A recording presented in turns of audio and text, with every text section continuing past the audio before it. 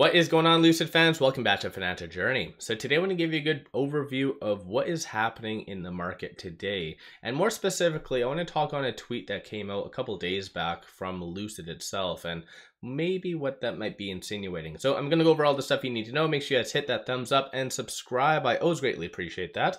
And without further ado, let's get right to it. So Lucid is currently down almost about half of a percent, give or take. Had a little bit more of a sell-off first thing, going down to $7.28, largely because of shorts. And you can tell that based on right here. So for instance, looking at the intraday chart, you see a massive sell-off first thing. Well, I guess I wouldn't really call it massive, but if you do coincide that with what shorts are doing, it's uh, very much them. So short score is currently 83, utilization is 100%, and currently they are increasing 952,000 shares, works out to be around 21% of the free float being shorted, 134.35 million shares being shorted, and cost to borrow is starting to spike up. So definitely a positive thing.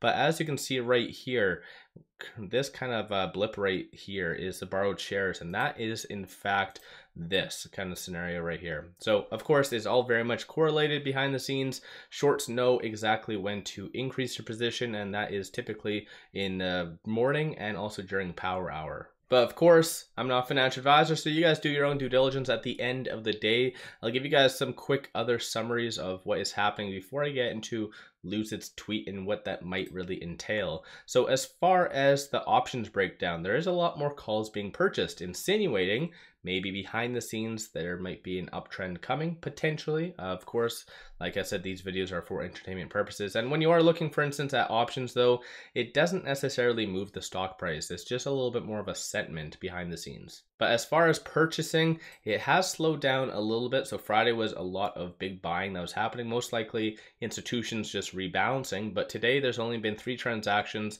on the secondary market, and one of which was 2.02 million. And as far as dark pool transactions for Lucid, I'll give you guys a quick summary of that. Not too many as well. So clearly a lot of big money. Maybe it's just waiting in anticipation for the upcoming Fed meeting, which is on Wednesday. Like I said on my video during the weekend on basically what to expect for this week. But right now, Stochastic is at 20 and still very much oversold. You do have that nice deviation. So black line above the red showing still, despite it being red, an underlying bullish sentiment. Number of retail investors are getting out today. Uh, so clearly a lot of fear around the whole Fed meeting and just banking in general. But like I said, when it comes down to Lucid, it is a long-term investment. And most likely, there's a lot of partnerships waiting on the sidelines for Lucid to actually get production up because right now only 10 to 14,000 for the 2023 targets is kind of small. Most likely they'd have to at least quadruple that before any big substantial partnerships start to really take Lucid seriously. That's just my own thoughts. But of course, when it comes down to Lucid, there was this tweet that did come out on the 18th, and it says talking cars and technology with a few hundred Lucid Air enthusiasts from Apple Auto Club. So, of course, Lucid loves to kind of allure people with Apple, so Apple Auto Club. And as you can see based on this picture, I have no idea who this individual is right here, but someone is holding up an Apple just like that. So of course, I think Lucid's always been a very good contender for a Apple partnership. And as of right now, Apple has not actually disclosed on who they're going to be partnering with. It was supposed to have been disclosed and kind of came out by the tail end of 2022, but unfortunately that never really came. So the fact that they're still alluring and leading to this clearly shows that there might be something behind the scenes, especially when it talks on talking cars and technology. That literally encompasses Apple products itself. So I also find it very weird as well, based on the Q4 earnings. Of course, this kind of did irritate me at the time, but they didn't really answer a lot of these questions that was posed by retail. They kind of did throughout their speech in essence, but not directly, other than this one question is the Saudi PIF taking Lucid private?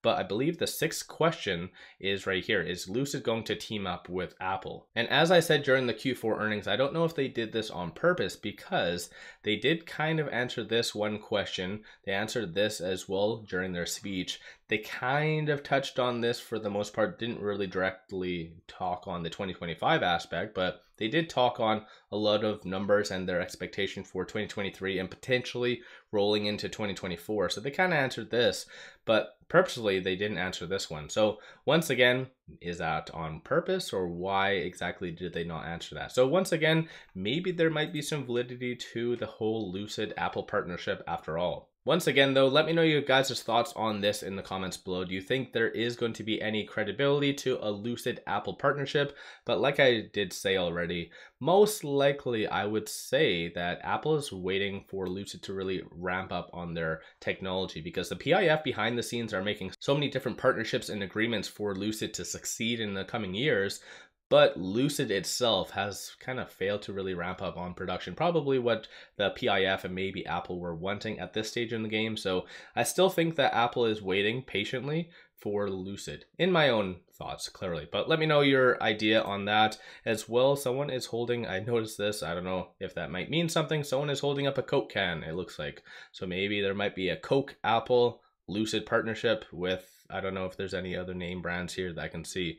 I don't know what these shirts are. But still, no matter what, maybe there might be more partnerships behind the scenes with Coke. That'd be a pretty good uh, investment, especially that offers a dividend. Who knows? But no matter what, let me know your thoughts on all of this in the comments below. If you haven't already, hit that thumbs up and subscribe. I always greatly appreciate that. And if you do like my Lucid content, want to support the channel, take a look at my memberships, link in the description below, or just hit the join button at the bottom of the screen. And one final thing, there is a good promo only up until March the 31st with Moomoo. And all you have to do, open up an account and you get one free stock. Each stock is valued up to $2,000. So in among itself, this is a no-brainer. And plus, if you want to throw $100 at it as well, you do get additional four free stocks. And then because of the whole chat AI movement, you get one of AI and other BBAI. So for $100, you get seven free stocks.